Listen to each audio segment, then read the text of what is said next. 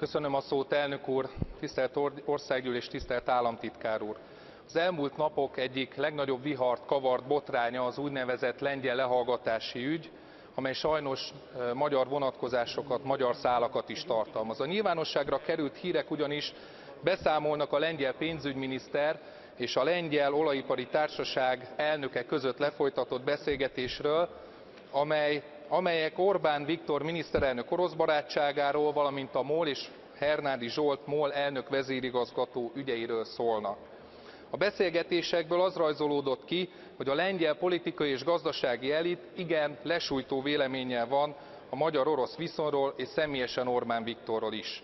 Orbán Viktor miniszterelnök orosz barátságáról Kraviec azt mondta, hogy a kormányfő az oroszokkal építeti meg a két újabb magyar atomreaktort, 10 milliárd euró hitelt vesz fel az oroszoktól, és természetesen megcsinálja a déli áramlat gázvezetéket is, annak ellenére, hogy az Európai Unió ezzel nem ért egyet. Ezen kívül egyéb megjegyzéseket is tett. Hernádi Zsolt büntetőügyével kapcsolatban pedig lényegében megkérdőjelezik a magyar jogállamiságot. A lengyel állami olajcég vezére a hírek szerint azt mondta, hivatkozva Hernádi Zsoltra, aki ő vele ezt közölte, figyelj, a jogászaim találtak valamit, hogy ebben a témában az ügyet bármelyik EU-s országban folytatják le, és az ítélet felmentő lesz, akkor azt minden EU országnak el kell ismernie, és utazhatok Európában. Mindez megerősíti azt a gyanút, hogy itt Hernádi Zsolt büntetőügye kapcsán egy színjátékról van szó, amelyben Hernádi Zsolt mozgatja a szálakat elérte hogy az ügyészség ne foglalkozzon érdemben az ügyével ugyanakkor egy általa irányított emberrel lefolytat egy álbüntetőeljárást amelynek végén felmentő ítélet születik. tisztelt államtitkár úr!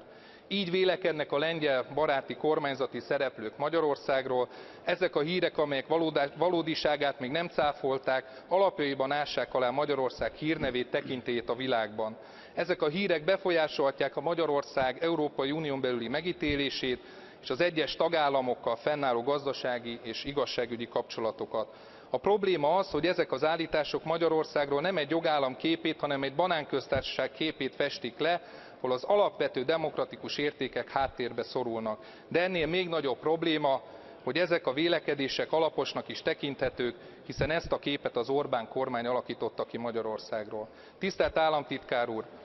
Ön felel a kormány a miniszter úr felelt korábban a kormány igazságügyi politikáért és magyarországról hogy ez a kép alakult ki ő is felelős. kérdezem hogyan kíván javítani magyarország külföldi megítélésén? Reagált e a kormány a lengyel médiában megjelent hírekre? És hogyan befolyásolja a magyar lengyel valamint a magyar horvát kapcsolatok további sorsát ez a lehallgatási botrány? Mit kíván tenni azért hogy magyarország partnerei ne egy banánköztársaság képviselőiként tekintsenek a magyar kormány tagjaira. várom válaszát. köszönöm szépen. Köszönöm képviselő úr.